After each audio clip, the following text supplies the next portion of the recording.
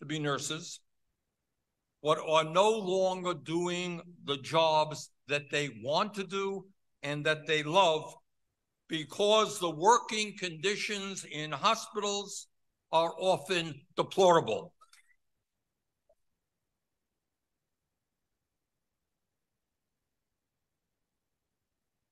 And how sad it is, how tragic it is that these nurses who want to do their jobs, compelled to do their jobs, no longer feel. Continue. It is going to be worth knowing who will receive their money in the first days of June. SSI recipients are eligible for a maximum benefit of $1,000 a month and $1,300 for a married couple, where both spouses are eligible for the program. But it's important to mention that the payments are calculated individually and vary from one beneficiary to another. SSI recipients receive their payments on the first day of each month, or if the first day falls on a weekend or holiday. The payment is moving forward to the earliest business days of the previous month, and those who begin receiving their Social Security payments before the month can receive benefits every single time. So, folks, just know this based on the scheduling, the SSI recipients will receive their June payment on June 1st. In addition to that, SSA will send a second payment on June 30th, which corresponds to the July check, since the first day of that month is Saturday, and the payment date will be brought forward. But if the US breaches the debt ceiling and defaults on its debt, there could be significant implications for Social Security beneficiaries. The debt ceiling represents the max amount of money the US government can borrow, and if it's not raised or eliminated, the government may not have enough funds to meet its financial obligations, including Social Security payments. Experts warned that in such that as we gather here right now on the floor, uh, we have legislation uh, that Maine sent out its Maine sent out its initial wave of five thousand dollar checks and fifty dollars each on June first, and intends to send two hundred thousand dollar two hundred thousand checks per week in the future.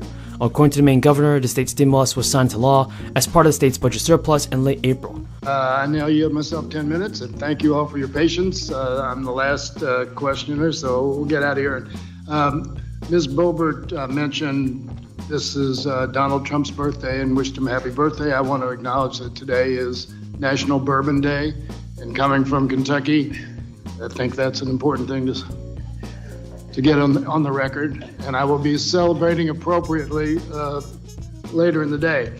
Uh, Mr. Mr. Williams, I get Mayor Williams, thanks for, for being here. And you are more than the, the mayor of Union City. You are representing the League of Cities across the country. Um, how many of the mayors that you're familiar with um, think the American Rescue Plan was a bad deal?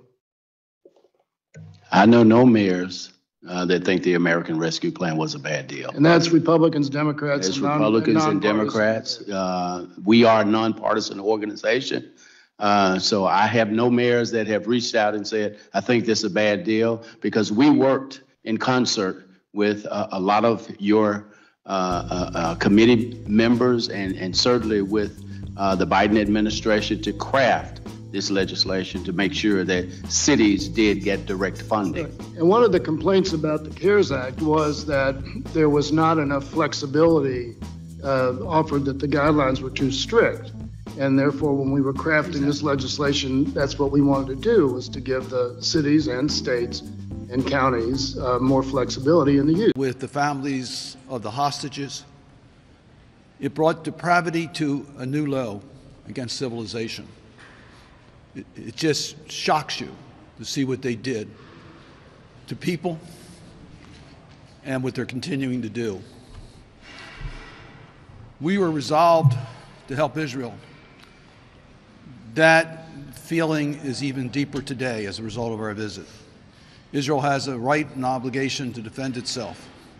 Big news has been announced, and there are new proposals currently on the table. It would make a dramatic positive impact for the Social Security people.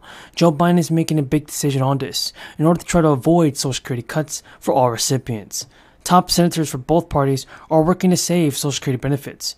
Everyone in DC knows that Social Security is in trouble. They only have to listen to the federal government and program's trustees. In the latest report, the trustees projected that Social Security's combined trust funds is already running out of money, and by 2034, the program's done.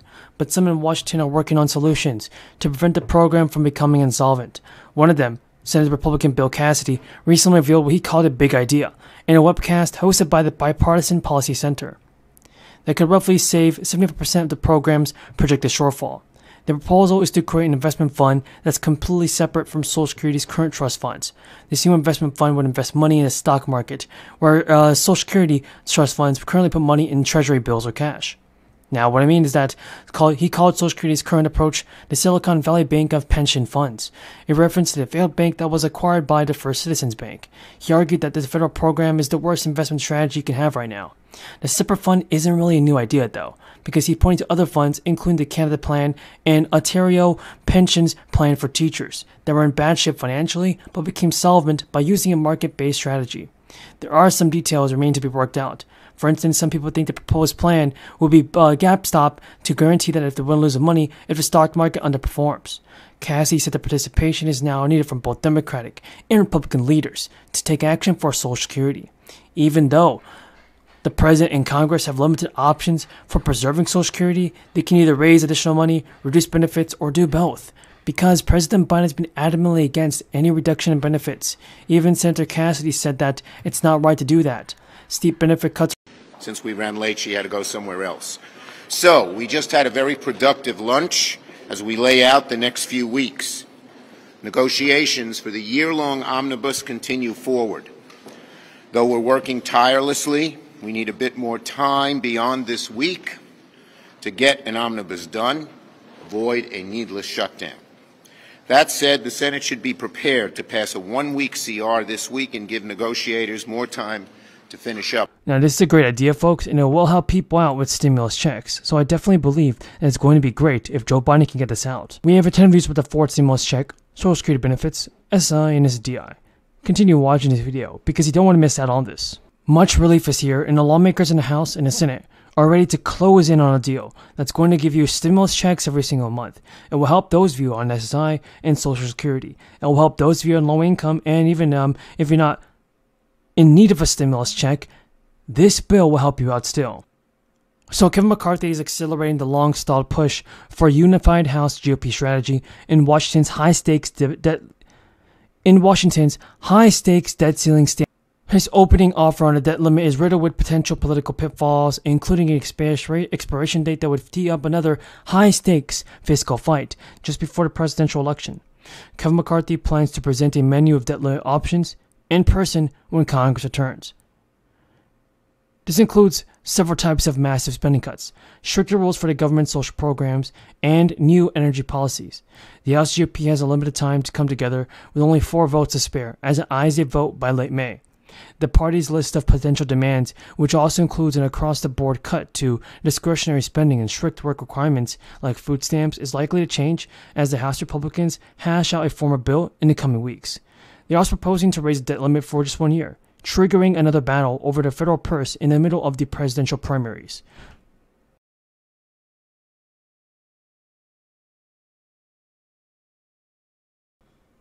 This includes two months of discussion with six to ten lawmakers at a time.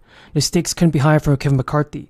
This Republican must avoid a misstep that would weaken his speakership, which any single frustrated member could voice a vote to terminate.